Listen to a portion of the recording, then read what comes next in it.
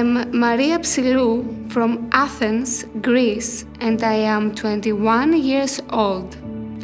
Besides that I am studying philosophy, I also work as a professional model.